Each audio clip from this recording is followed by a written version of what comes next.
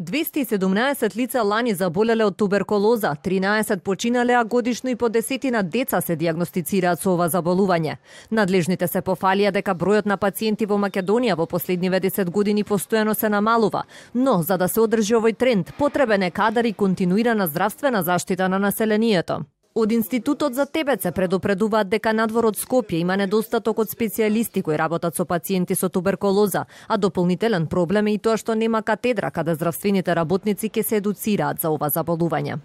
Во ова состојба две се основните прашања кои барат решење. Првата, кој е профилот на здравствените работници кои ќе се вклучат во контрола на туберкулозата и другата, како ќе се проведе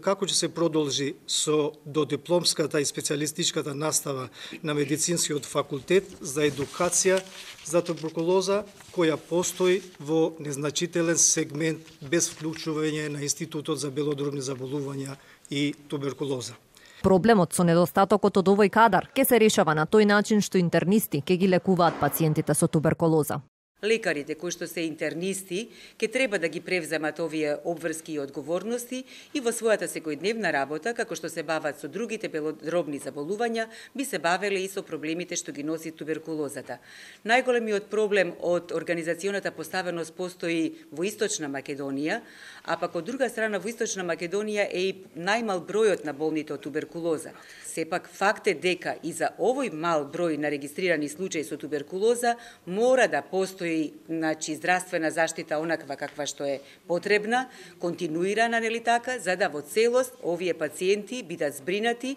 било во поглед на диагностика, на лекување и нели превенирање на нови случаи од туберкулоза во овие територии.